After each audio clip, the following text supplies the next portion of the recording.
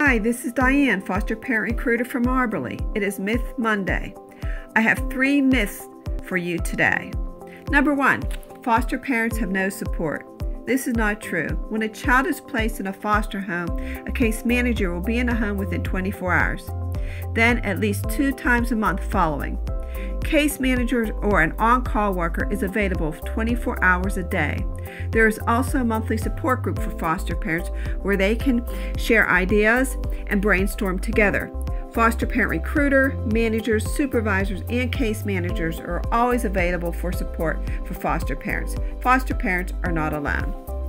Second myth I'm too young or too old to be foster parent. Not true. Other than being at least 21 years of age, there's no age requirements. Many empty nesters find fostering a rewarding experience. You are never too old. Number three, it takes too much work and time to become a foster parent. Not true.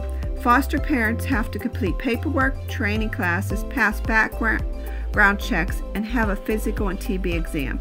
This process can be completed in one to two months. One to two months can lead to years of providing a safe home for children. Once again, there's no better time to become a foster parent.